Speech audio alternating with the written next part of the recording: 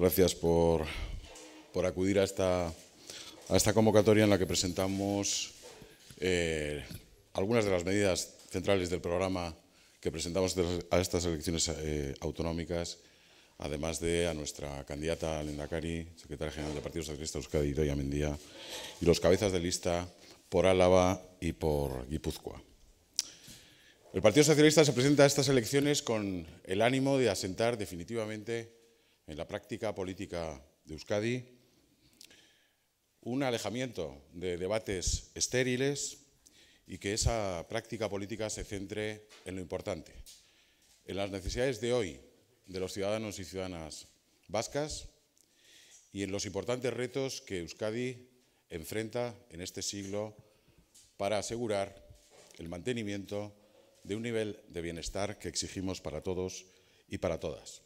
Retos como la emergencia climática, la transición energética, la digitalización de la actividad y de la economía, el envejecimiento demográfico, la emancipación tardía de los jóvenes por sus dificultades en incorporarse al mercado de trabajo con unas eh, condiciones de contrato y salariales que se lo permitan, la igualdad efectiva entre hombres y mujeres, las viejas desigualdades que si bien fueron amortiguadas por el desarrollo del estado de bienestar, aún continúan presentes y algunas, de hecho, en la nueva economía se han agudizado, y la convivencia entre distintos en una sociedad global que tiende a ser cada vez más plural, más diversa, lejos de las ensoñaciones homogeneizadoras de algunos. Como saben, hemos estructurado el programa, la oferta programática que presentamos a estas elecciones autonómicas a partir de la Agenda 2030 de Naciones Unidas que propone para todos los países una serie de compromisos en torno a los 17 Objetivos de Desarrollo Sostenible.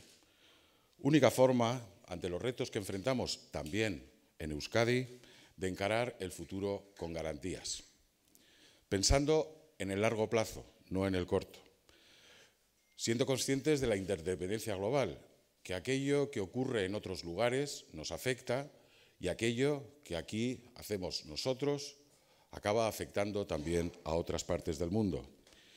Y con la seguridad de que las viejas recetas del pasado ya no sirven y que lo que hagamos en los próximos años tiene una incidencia directa en el tipo de sociedad que vamos a dejar a las generaciones siguientes, a nuestros hijos y nietos. Este enfoque de la oferta programática del Partido Socialista para las elecciones autonómicas a partir de los Objetivos de Desarrollo Sostenible se incardina además muy bien con el ideario socialista de siempre. La conciencia global, desde la que están formulados esos objetivos de desarrollo sostenible, expresa en el fondo el viejo ideal internacionalista del socialismo, siempre consciente de que los que agitan banderas frente a la incertidumbre no hacen sino tapar las injusticias y que los que ponen fronteras en una especie de sálvese quien pueda frente a la incertidumbre condenan en realidad a sus propias sociedades a una mayor debilidad, una debilidad además, en la que los mayores costes son siempre para los más desfavorecidos. No queremos una Euskadi de Brexit, queremos una Euskadi abierta al mundo, que por ejemplo dote a nuestras generaciones más jóvenes de las herramientas con las que poder desarrollar su vida en un mundo que es ya global. Y por otro lado, el énfasis que esos mismos objetivos colocan en, que la necesaria sostenibilidad no es solamente medioambiental o económica, sino que lo es sobre todo social, que dice que la, desigualdad es un mal negocio, no solo por cuestiones de justicia social, sino porque pone en riesgo todos los demás, incluida la propia estabilidad política de las sociedades, en el fondo lo que hace es subrayar el valor de la igualdad que ha sido, es y será siempre el auténtico motor de las políticas socialistas. Nos presentamos, pues, con el objetivo de siempre, proponiendo una Euskadi que frente a los nuevos retos sea capaz de ofrecer las condiciones para una vida digna y también la igualdad de oportunidades que permita a cada uno y a cada una desarrollar su proyecto de vida en libertad, sin obstáculos insalvables y sin imposiciones de nadie sobre cómo debe pensar o sentir. Para todo eso tenemos la determinación necesaria para hacerlo, tenemos el proyecto y tenemos las personas. Y sin más, doy paso a Gloria Sánchez. Muchas gracias.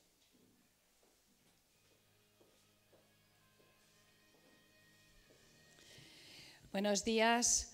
Los, socialistas creemos que el progreso económico no es tal si no va acompañado de una cohesión social. Y, y, todos los recursos que utilicemos para conseguir esa cohesión social consideramos que no son gastos, sino que son una inversión porque el desarrollo, no hay desarrollo sostenible si no hay una integración, una inclusión si, no conseguimos que no se quede nadie atrás. Por eso el concepto eh, del que hoy vamos a hablar y que coincide con la Agenda 2030 eh, no es más que una adaptación de los principios que nos han acompañado a los socialistas a lo largo de nuestros 140 años de historia, como son la igualdad, la solidaridad, la libertad y la justicia, eh, y la justicia eh, social. Nosotros creemos eh, que tenemos eh, que eh, recuperar esas bases donde los ciudadanos puedan sentir esa seguridad, esa protección que tienen que sentir desde sus instituciones. Y que además tenemos que hacerlo con una mirada amplia, sin parcelar esas políticas en los departamentos, en los diferentes departamentos del Gobierno, sino que tenemos que conseguir es que cambiar esa inercia de gestión para conseguir avanzar con esas políticas a través de todas las áreas eh, de gobierno para, que, para conseguir que nadie, que nadie y que ninguna persona se sienta arrinconada porque podemos estar de acuerdo en que atajar la pobreza infantil es un reto ineludible, pero hay que superar esas políticas exclusivamente asistencialistas y políticas pasivas. También tenemos que plantearnos si las políticas de apoyo a las familias eh, con las eh, que tenemos son verdaderamente eficaces eh, para que las personas puedan prosperar, para que esos niños no puedan quedarse marginados en el futuro y, podrá, y poder conseguir eh, y tener esas oportunidades que les permitan prosperar. Tenemos que hablar también de la precariedad laboral o de la ausencia de trabajo para sus padres o madres, especialmente en respecto a los mayores de 45 años que han podido quedarse eh, ahí atrapados en el desempleo. También, especialmente respecto del colectivo de mujeres, que son siempre el colectivo más castigado por la crisis. Y tenemos que conseguir cambiar esa inercia para que eh, las mujeres que quieran eh, incorporarse al mercado laboral no eh, se vean obligadas a, estar fuera de él porque se tengan que dedicar al cuidado de sus hijos o al cuidado de, sus eh, mayores y de sus familiares. Por tanto, es importante tener en cuenta estas políticas de apoyo porque son una urgencia social. Eh, también tenemos que hablar de la temporalidad, del fraude en la contratación, o eh, eh, eh, del fraude y, de la precariedad. Y también tenemos que tener en cuenta si la red de servicios sociales con la que contamos es suficiente para poder conseguir ese progreso y esa prosperidad. Tener un trabajo y que ese trabajo sea de calidad se consigue mejor con una buena formación. Y para ello es importante eh, eh, todas estas políticas porque eh, no, es, no, no, hay justicia si, lo que si lo que tenemos teniendo un empleo tenemos un salario que no es digno, ni, ni, tampoco hay justicia si nosotros no, no, conseguimos superar unas determinadas cuestiones, porque esto nos va a servir para en el ámbito eh, eh, de, la sanidad, eh, reduciendo costes sanitarios, que esas personas puedan contar con una vida digna en, ese bucle es donde nosotros queremos entrar. ¿Cómo lo queremos conseguir? Pues nosotros tenemos muy claro que tenemos que conseguir una revisión completa, hacer una revisión completa de nuestro sistema vasco de servicios sociales. Conseguimos dentro de esta legislatura un nuevo plan de eh, familias eh, que apunta en esta dirección y para poder eh, superar viejas recetas, pero todavía sigue estando anclado fundamentalmente en aspectos y en el ámbito de ayudas. Y hay que superar ese eh, área y ese aspecto asistencialista y esa visión eh, natalista que se basa exclusivamente en, esa, eh, en el relevo generacional necesario en una sociedad en la que cada vez más hombres y mujeres optan por no tener hijos es que en estas recetas y en esta política llevamos 15 años, que ha servido en parte para paliar eh, eh, y, ha servido parcialmente, pero no ha servido para superar el envejecimiento de nuestra sociedad. Así que tenemos que seguir ayudando a todas aquellas eh, personas y familias que quieren y que han tenido la opción y, y han optado por tener hijos. Pero algo más, hay que garantizar que cuando una mujer opta por tener tener hijos, no va a tener que abandonar su carrera profesional para dedicarse al cuidado de sus hijos. Por eso queremos garantizar la gratuidad de las aurrescolas desde los cero años. Y hay que garantizar también que esos niños y esos jóvenes todos y especialmente eh, contengan una formación adecuada, especialmente los que tienen eh, menos recursos. Y, ahí eh, damos especial importancia a reforzar el inglés porque es una herramienta esencial dentro de su preparación y un lenguaje universal y para que el conocimiento o no del inglés no se pueda convertir en una barrera o en una brecha de desigualdad. Lo mismo también en el ámbito de la igualdad en la asistencia sanitaria. Por eso eh, nosotros queremos extender el PADI hasta los 18 años para que el tener dinero o no para pagar el dentista nos sirva también como una barrera dentro de una sociedad inclusiva. Todo ello, eh, como he dicho, dentro de una revisión integral eh, de, nuestra asistencia, eh, de nuestra asistencia social. Pero no nos, no nos queremos quedar en una solidaridad caritativa. Los socialistas no queremos un debate de distribución de las sobras. Lo que queremos es un debate de un derecho para todos. Y dentro de estos derechos, especialmente los que conforman el cuarto pilar del estado de bienestar.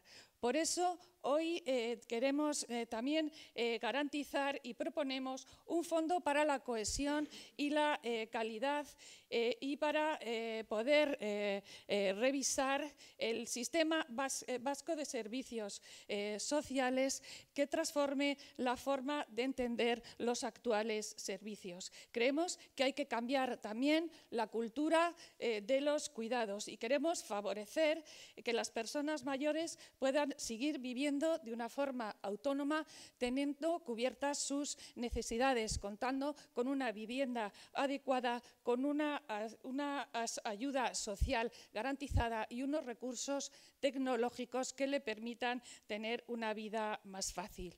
Y también eh, yo, eh, y también hay que tener eh, en cuenta que tenemos que hacer frente al ámbito de preocuparnos de la vida laboral de las personas, aparte de los niños y aparte de las personas mayores, porque si nosotros contamos con un salario y ese salario no es digno, no, la sociedad no es justa y no es justa tampoco eh, cuando eh, se sigue eh, teniendo también una brecha salarial que influye sobre las mujeres. Soy inspectora de trabajo y entiendo y conozco muy bien las diferentes relaciones laborales. Por eso eh, doy especial valor eh, al esfuerzo que los socialistas hemos llevado a cabo dentro de, este, eh, de esta legislatura, en la cual hemos puesto en marcha un plan de lucha contra el fraude laboral que ha servido para regularizar más de 17.000 contratos. Y además, las empresas se han puesto las pilas porque saben que nosotros vamos en serio. Y también le doy un especial valor a la mesa de diálogo social que se han puesto en marcha también eh, por parte nuestra y que sirve como foro permanente eh, de encuentro entre el gobierno, patronal y sindicatos. Pero queremos dar un paso eh, más y queremos conseguir una ley de participación institucional para que los distintos agentes puedan también diseñar las políticas públicas dentro de esta visión global que incluye nuestro eh, programa. También queremos fomentar y reforzar la formación para mayores de 45 años porque es un activo que nosotros no podemos perder. Y queremos también eh, un pacto social, proponemos un pacto social eh, para la racionalización de los horarios que culmine en una ley. Y vamos también a eh, extender los planes de igualdad en las empresas de menos de 50 trabajadores. En definitiva, no queremos una visión parcial, queremos una visión global que se extienda a todos los ciudadanos en sus distintas etapas y en sus diferentes necesidades. Porque si tener un trabajo no es garantía de, poder tener una vida digna, tenemos que revisar las capacidades que tenemos, tenemos que revisar las herramientas con las que contamos en nuestras manos para decidir hacia dónde queremos llevar a la sociedad. Y, y, eso es lo que planteamos dentro de nuestro programa. Y ahora le doy la palabra a Erneco Ardeza. Egunon guztioi.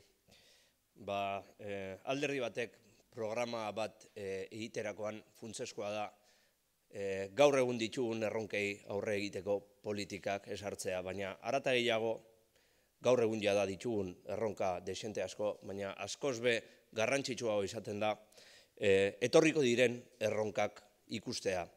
Eta erronka hoiei aurre egiteko politikak jada martzan eh, jartzea programa batean jartzea. Hemen gaur aurkezten deun eh, programa hontan politika aurrerakoi desente asko ditugu. Politika eskertiarrak urrengo gobernuan sustengatuko degun gobernu hortan eta gu protagonista izango garen gobernu hortan gure lidergoa politika eskertiar gehiago sartzeko kapasitatea eukiteko. E, gaur e, aurkezten dugun programa hontan hitz bat destakatuko e, baldin bagenu jasangarritasuna izango litzateke. Jasangarritasun orokorrean kausa askotan, arlo askotan, politika askotan esarri daiteke. Baina adibidez, e, mugikortasun jasangarrian funtzeskoa daukagu politikak esartzea. Eta baita ere gure enpresetan e, teknologia jasangarria martxan jartzeko aukeria e, ematen duen programa bat daukagu hemen gaur. Decía que si tenía, tendría que destacar una palabra que destacara o diera sentido a este programa, esa palabra sería la sostenibilidad. La sostenibilidad se puede extender a muchos ámbitos de nuestra vida cotidiana, pero en la sostenibilidad se basa este programa que persigue que persigue hacer frente no solo a los retos que ya tenemos encima de la mesa en nuestra vida cotidiana, sino que sobre todo ya empieza a detectar los retos que van a venir en un futuro próximo. A mí me, gustaría destacar eh, dos cuestiones concretas dentro de las eh, múltiples propuestas que hacemos a través de este programa. Por un lado, me gustaría destacar las propuestas que hacemos en cuanto a la movilidad sostenible. Se habla mucho de movilidad sostenible. Entendemos que hace falta una ley de movilidad sostenible que haga posible que este territorio, que es pequeño, pero que a su vez es tan amplio y tan diverso, esté más cohesionado, que nuestros ciudadanos y ciudadanas tengan un transporte público que además de sostenible sea competitivo, que sea atractivo y que haga que los vehículos privados se queden en casa para dar prioridad al transporte público. Por eso vamos a potenciar, por eso vamos a bonificar el mayor uso del transporte público a través de una serie de medidas que harán posible que cuanto más se use, más barato sea el transporte público, llegando un momento en el que se haga a tope y ese transporte sea gratuito. Una especie de tarifa plana que fomente el uso de un transporte público que, como decía, tiene que ser más competitivo y que haga posible que nuestro territorio esté más cohesionado. Y por otra parte, entendemos que uno de los retos más importantes que ya tenemos encima de la mesa es hacer frente a la transición ecológica, al cambio climático. Tenemos que cambiar nuestros hábitos de vida, tenemos que concienciar, tenemos que promover actitudes en nuestra vida cotidiana en todos los ámbitos que hagan posible, que faciliten eh, que esa transición ecológica frene el cambio climático que ya está tocando a nuestras puertas, que ya, por desgracia, es una realidad. Y para eso queremos concienciar y para eso también queremos ayudar a nuestras empresas a que eh, favorezcan la implantación de tecnología sostenible que haga posible hacer frente a ese cambio climático y que propicien esa transición ecológica, también fomentando el empleo verde, también fomentando un consumo responsable que haga posible un tratamiento de nuestros residuos desde el reciclaje y desde el uso responsable de dichos residuos. Por tanto, entiendo que este programa es el programa de una izquierda útil, de una izquierda más necesaria que nunca, de una izquierda posibilista que pone eh, en realidades y que pone en políticas concretas las soluciones para hacer frente a esos retos que tenemos en la actualidad y a los retos que vendrán en un futuro próximo. Eta da eta eh, aurrera eramango benetan aurrera eramango lendakari bat. Urrengo lendakari hori ez dakat inungo zalantzarik idoia mendia izango dela. Berarekin usten dizuet. Egunon, Egunon Gustioi. Eh, bueno, ya han visto, nosotros los socialistas, eh, además de preparar con tiempo estas elecciones, tenemos no solo la candidatura despejada y las candidaturas de las personas que van a llevar adelante este programa que hoy les presentamos a ustedes, lo llevamos trabajando mucho tiempo y nosotros queremos utilizar las pocas semanas que tenemos hasta el próximo 5 de abril precisamente para eso, para explicar a la ciudadanía qué nos preocupa, qué soluciones pensamos que pueden tener los problemas que les aquejan en este siglo XXI y en una sociedad como la, como la vasca.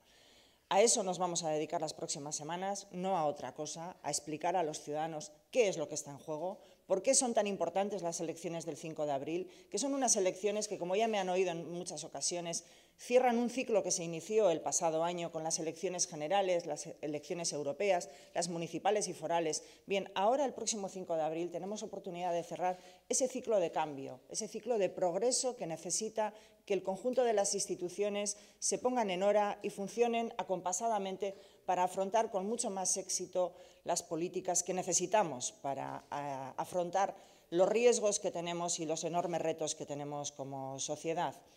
Normalmente en elecciones, cuando llegan las elecciones, hay grupos políticos que tienden un poco al adanismo, a decir que no se ha hecho nada, que la pasada legislatura ha sido una legislatura perdida, que, en fin, que todavía tenemos muchas tareas por hacer. Bueno, es verdad que quedan muchas cosas por hacer, es verdad que hay muchos problemas que, aquejan a la ciudadanía vasca, principalmente lo hemos dicho en muchas ocasiones, las mujeres siguen sufriendo la desigualdad de una manera mucho más intensa que el resto de la población. La pobreza infantil, a pesar de que el crecimiento económico se ha extendido en la comunidad autónoma, pues no ha llegado a todos los hogares y hay más niños pobres ahora que hace unos años. Tenemos un problema con el desempleo cronificado al que hay que hacerle frente. Además de ello, tenemos los retos como el resto de, los europeos y el resto del mundo tenemos el reto demográfico, somos una sociedad profundamente envejecida, tenemos el reto del cambio climático, la transición ecológica, todo lo que va a suponer en el uso de las energías renovables, como decía Eneco también en la movilidad, que va a ser diferente, que va a transformar nuestra forma de, de comunicarnos y de movernos en un territorio pequeño como es el nuestro, pero también conectados con el resto de Europa. También se va a transformar nuestras vidas por la revolución tecnológica, tanto la vida laboral como la vida cotidiana en nuestros hogares, porque la tecnología va a entrar en nuestras vidas. Y para todo ello es necesario que la próxima legislatura sea el salto, el salto de verdad para que estemos ahí y que podamos jugar en la Liga de los Grandes, ¿no? porque creo que podemos hacerlo. Euskadi tiene un potencial enorme en capacitación de los trabajadores y en capacitación de su tejido industrial y de todos los servicios que tiene a su alrededor. Por eso es por lo que nosotros hemos ido elaborando este programa de la mano de las asociaciones, del tejido económico, del tejido eh, laboral también, porque creemos que es importante. Yo venía para aquí y, yo soy de Deusto, vivía ahí enfrente, he vivido toda mi vida en Deusto y cuando veo cómo está transformándose todo este entorno, recuerdo cómo fue, y, fue gracias a la colaboración interinstitucional de muchas instituciones poniendo la vista en la misma dirección y haciendo una apuesta coordinada, sin ponerse zancadillas y con el objetivo de mejorar, de mejorar la industria, mejorar la economía y mejorar la vida de la gente. Y hoy Bilbao, afortunadamente, gracias a ese alineamiento institucional que se dio en los años 90, Bilbao se reinventó y es otra ciudad completamente diferente y hasta su economía se ha transformado, transformándose también al mismo tiempo Euskadi. Y eso se produjo en un tiempo en el que los socialistas estábamos como ahora en todas las instituciones. Estábamos en Europa, estábamos en el Gobierno de España, en el Gobierno autonómico, en las diputaciones y en los ayuntamientos. Bien, ahora hay una ocasión igual para hacer lo mismo. Nosotros, para llevar adelante este programa, lógicamente, no, podemos hacerlo solos. Y quien diga que puede llevar adelante, eh, hacer frente solo eh, la transformación eh, de la revolución digital en nuestras empresas o nuestros hogares, o quien diga que puede afrontar en soledad toda la transición ecológica, el cambio del, del, mix energético para esta comunidad autónoma, pues estará engañando a la gente. Y nosotros no engañamos, nosotros decimos la verdad a la gente. Y lo cierto es que necesitamos aliados. Los primeros aliados, los ciudadanos. Por eso les queremos contar de aquí al 5 de abril lo importante que es, lo importante que son las próximas elecciones, todo lo que está en juego y todo lo que depende del acierto de las próximas elecciones y de lo que hagamos después de ellas. Por lo tanto, los primeros aliados que vamos a buscar serán la ciudadanía. Pero los siguientes aliados, igual que lo han sido, y así lo, lo explicaba Gloria muy bien, en esta legislatura, pues los empresarios y los sindicatos, porque trabajadores y empresarios tienen que ser también cómplices de todas las políticas que tenemos que poner en marcha. Sin ellos no podríamos tener éxito, porque las instituciones solas no se bastan. Pero también el Gobierno vasco solo tampoco puede hacer frente. Necesita a las diputaciones, necesita a los, a los ayuntamientos y, por supuesto, necesitamos al Gobierno de España y al Gobierno de Europa, porque solo así podremos afrontarlo con éxito. Y es verdad que son unos tiempos eh, complicados, unos tiempos difíciles, unos tiempos donde ocurren un montón de cosas. Cada día parece que nos invaden noticias eh, que ponen en riesgo nuestra vida o ponen en riesgo la economía. Son tiempos de incertidumbres donde los socialistas ya nos han venido escuchando Venimos apostando por dar certidumbre y estabilidad a las instituciones porque creemos que eso es lo que mejor contribuye a la tranquilidad de los ciudadanos para que hagan su vida, sobre todo también para que las instituciones puedan estar centradas en lo importante, que es generar crecimiento económico, para luego poder hacer todas esas políticas sociales que tan necesarias son para crear cohesión social en una sociedad como la nuestra. En definitiva, estos son los riesgos que tenemos, pero también hay un riesgo que no hay que olvidar y que aquí en Euskadi puede aparecer, que es el riesgo de la actitud que tengan los partidos políticos a partir del 5 de abril. Nosotros siempre vamos a abogar por los acuerdos. Creemos que la negociación, el pacto y el acuerdo siempre es bueno para la ciudadanía, porque siempre llevaremos adelante políticas con mayor empuje y con mayores garantías de éxito si lo hacemos de esa manera, de la mano de muchos y de muchas. Sin embargo, hay partidos que seguramente eh, pueden poner en riesgo todo esto porque piensen o digan y defiendan que con una república vasca o con una consulta se van a poder conseguir mejores cotas de bienestar social. Bueno, pues es mentira. O también habrá otros partidos que tengan la tentación de contra el nacionalismo batallar con más nacionalismo y llevarnos a la época de las trincheras a Euskadi. Y es justo lo que los socialistas no queremos. Es precisamente el empeño que nos ha llevado en estos últimos cinco años a, a través del acuerdo, buscar el encuentro con el diferente en beneficio de la gran mayoría de la ciudadanía vasca para que Euskadi avance, para que avance en lo económico, para que avance en lo social, pero para que avance también en convivencia, que estamos muy necesitados de seguir avanzando en convivencia en este país.